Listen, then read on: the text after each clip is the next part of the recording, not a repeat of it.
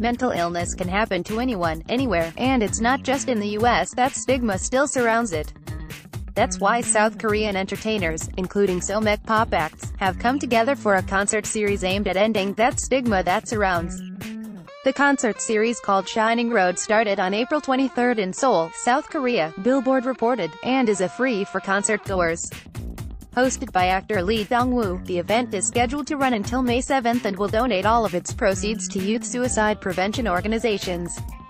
In a statement, Lee explained the reasoning behind the multi-day event, saying, If you have an impairment, only physical disabilities come to mind.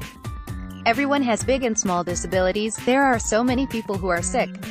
He went on to point out his own depression that reportedly started when he was diagnosed with a disease that led to blindness. He noted that others had helped him cope with his mental health and he hoped to return the favor, saying, I would like to use my talents to soothe them, other people. The event will feature appearances and performances from celebrities including Yoon Jong-shin and Kangta. Billboard also reports that Taemin, a member of the band SHINee is scheduled to attend. Taemin's participation in the event comes after former bandmate and SHINee lead singer Kim Jong-hyun died by suicide in December 2017. Billboard noted that many K-pop stars have been making more of an attempt to broach the subject of mental illness in 2018, and that's true.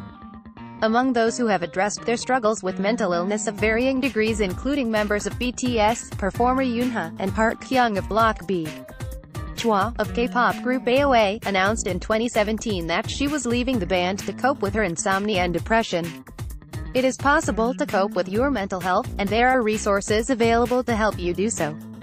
It's great that K-pop stars and others are coming together to shine a spotlight on that.